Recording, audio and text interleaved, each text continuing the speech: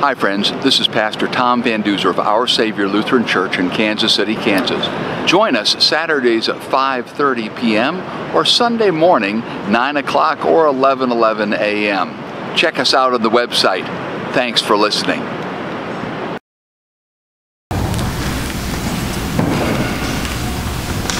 You knew that for a pastor who served in Texas, it wouldn't come last very long before we referenced a country and a western song. Well, there's a good one. Quite a few years ago, country, uh, country music star Garth Brooks wrote a song with a cute title called Thank God for Unanswered Prayers. Anybody remember that song? Okay. Uh, in it, it, talked about a, a man who uh, had an old high school sweetheart. And one day at an event, he runs into her while uh, escorting his wife to this event. There's some awkward conversation, and he remembers how he just prayed to God that he would be able to uh, someday marry this sweetheart. Well, it didn't work out. He married his wife, and uh, this is how he sang. for unanswered prayers. Remember when you're talking to the man upstairs that just because he may not answer doesn't mean he don't care.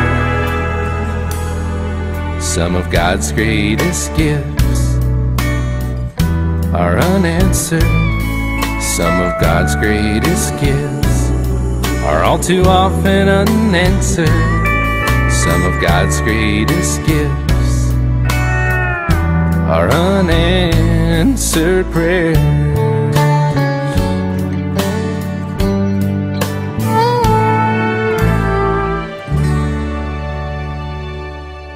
We'll play that one for the closing instead. Uh, what do you think? Just, just come up with that. Uh, well, today, as we talk about prayer, we're going to thank God that He doesn't answer this prayer. We just said it in the Lord's Prayer. Let's read this part together. Forgive us our trespasses as we forgive those who trespass against us. Oh, I thank God that He does not answer that prayer. Think of it. What if God really forgave me in the same way that I forgive those that I believe have offended me or let me down, uh, who have disrespected me or overlooked me, who've underpaid me or ignored me, who've hung me out to dry or who've boxed me in.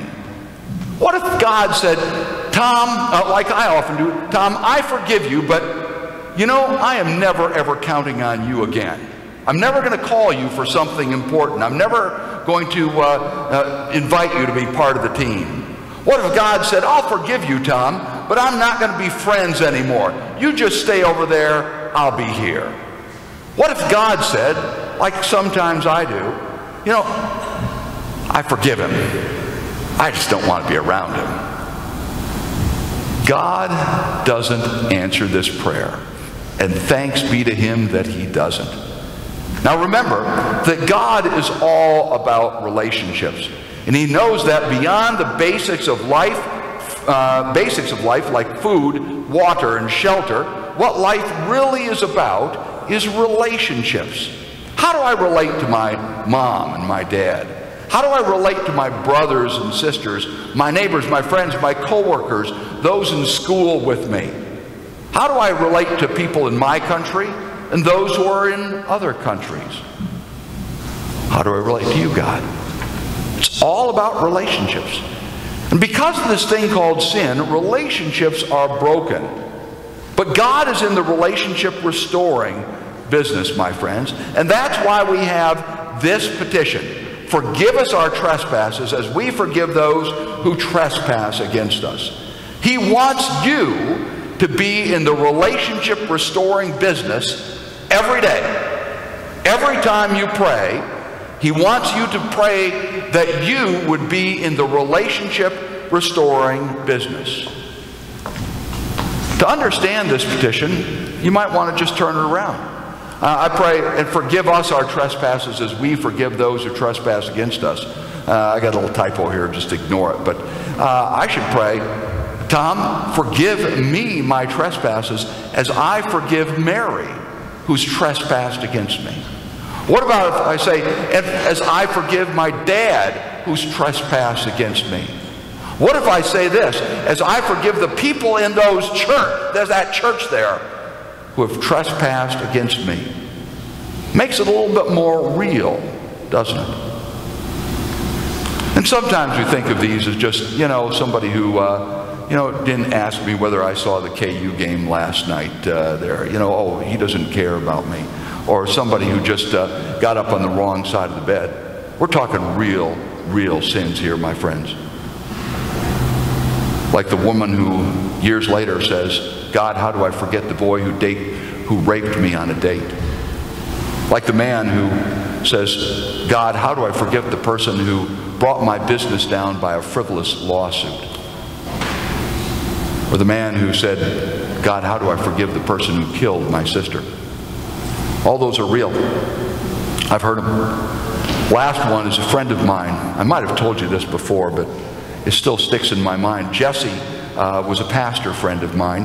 I got to know him in seminary. He was uh, uh, Hispanic, Jesse Gonzalez, and um, uh, had been a roustabout in the oil fields of West Texas, out in Pecos and Fort Stockton, when God called him into ministry. Now he's serving a wonderful church in New Orleans, and uh, God bless Jesse's ministry. But you know, sometimes um, people in inner city Houston, where Jesse was from, don't get the kind of justice that others in the suburbs get. Jesse's sister was killed. Nobody was ever arrested. There wasn't much of a search. And years later, after Jesse was a, was a pastor, the pain of that death had not gone away. I mean, what, what would you feel like if your sister were murdered? He got a call on a Saturday night. The man's voice he didn't recognize told him, I know where the man who killed your sister is. And if you'd like, I can take you to his hotel room tonight. That's when forgive us our trespasses as we forgive those who trespass against us becomes real. We're not just talking, you know, snippy words or, you know, a, a hello that's not cheery enough. We're talking about real sins. And when you think of those people who have had real sins committed against them, or even those that yours, you realize that when God puts you in the relationship restoring business, life becomes interesting.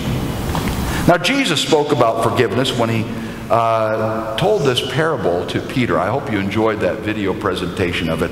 I've always enjoyed this rendition of that story, uh, right from the NIV version, but acted well. Uh, Peter had said, You know, uh, how many times do I forgive a man's sins? And uh, Jesus said, Well, not seven times, which was the, the law then, the, uh, the rabbinical rule. You forgive seven times, and then that's quite enough. But either said seven times 70 or 77 times. Either way, uh, yes, Donna, 490 is a lot to count. And you know, then he concluded the story this way This is how my heavenly Father will treat each of you unless you forgive your brother or sister from your heart. That man who did not understand the depth of his forgiveness but went out and choked and imprisoned his neighbor because he owed a small amount didn't understand the master's forgiveness. Wow, what a word, my friends. God wants us to be agents of forgiveness. And be an agent of forgiveness. Jesus had said this in the Sermon on the Mount if you're offering your gift at the altar and there remember that your brother or sister has something against you, first leave your gift there in front of the altar.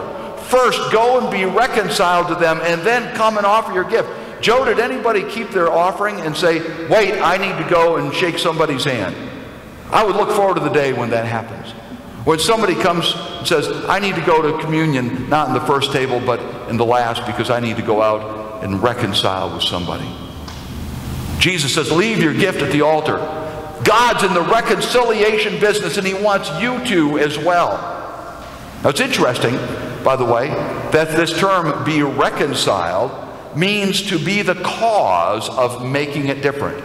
Not just that somehow it just sort of goes away by time. You know, we all, oh, we've just all for sort of forgotten about that. I've just let it be different. No, I actually brought it about. I caused it to be different. Go, first go and be reconciled.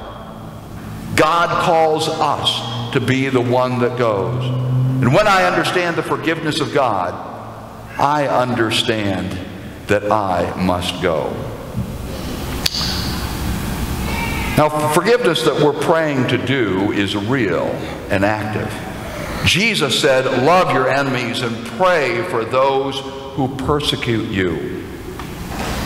And when you and I pray, Father, forgive us our sins in the same way. I mean, just think about that. Pause when you say the Lord's Prayer and say, Who do I need to reconcile with? Sometimes that's difficult. In the 1986 movie, an excellent one by the way, uh, called The Mission, Jeremy Irons portrays an 18th century Jesuit priest who brings the peace of Christ to um, a tribe in the Venezuela highlands. These people are very primitive and very brutal. But the peace of Christ has transformed them. All of a sudden, they take to forgiveness and and, to, to the love of Christ. And the peace of Christ has also transformed Mendoza, played by Robert De Niro, who has been a murderer. He's been a slave trader, and he has made a fortune off of stealing young men from these tribes and selling them to the slave trade in the West Indies. He's a brutal man, a mean man, but the Holy Spirit has transformed his heart. And so, to show his repentance, he drags his sword, his shield, his helmet, his weapons of anger and murder up the waterfalls and into the Indian village, not knowing how the people that he has treated so brutally will react.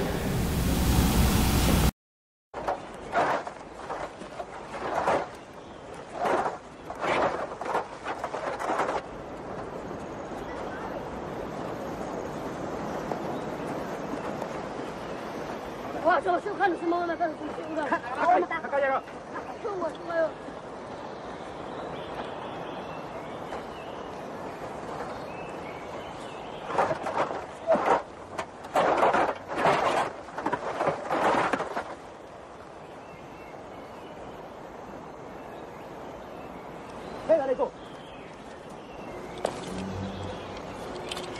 quieta, yo.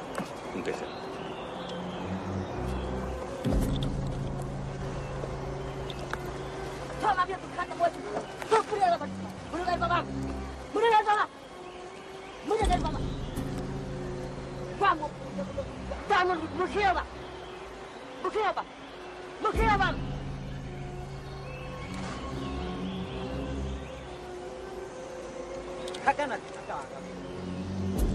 Tiro para. Tira para punto.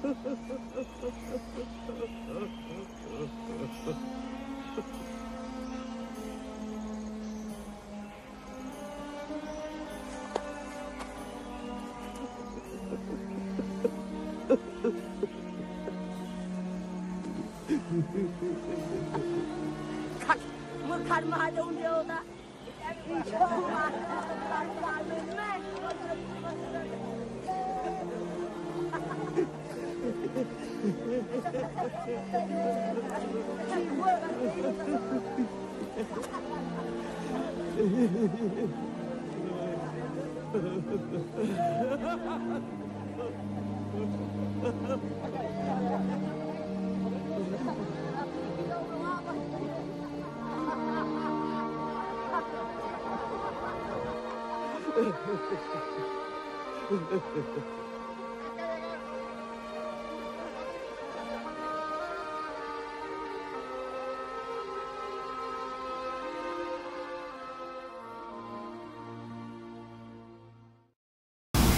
Be forgiven is an awesome thing. And to be a party to that is certainly godly. Now, Paul tells us in the Colossians how to forgive. As a matter of fact, uh, thank you so much, Ruth Ann, for reading this section. He says, Clothe yourselves with compassion, kindness, humility, gentleness, and patience. That's that first part compassion, kindness. Uh, as a matter of fact, the word compassion means a gut feeling, or I actually put myself in the feelings of that person. How do I get inside their guts and feel what they feel? To be clothed with compassion means I thank God for my forgiveness. And I thank God for His. Kindness is another word, too. Uh, it's an interesting thing because it doesn't just mean nice things or Hallmark cards, nothing against Hallmark, but it means actual practical needs being met. Here was a man who was carrying a burden, both symbolically and actually. The one he tormented lifted that off his shoulder, bearing with each other and forgiving one another. That term bearing means actually holding your anger back. You could, he could have taken the knife and cut the throat, and everybody in the village would have said, It's justified. But instead, he held back. You ever hold back and say, uh, I won't complain as bitterly. I won't point out the sins quite as loudly. As a matter of fact, I won't point them out at all. I will cover them over with love. Forgive as the Lord forgave you. What an awesome responsibility is, and what an awesome joy to forgive as Jesus has forgiven us. Lord God, Heavenly Father, we ask that as we pray, we might understand just how fully our forgiveness impacted you. You gave your Son for, for us. It was a tremendous sacrifice. And so any sacrifice I make to forgive others is nothing compared to that which you've given. So give me that heart, give me that spirit. In Jesus' name, amen. Our last hymn is uh, printed out in the bulletin. For those of you read, read music, let's rise, dear friends, because Jesus loves us. I love him in return.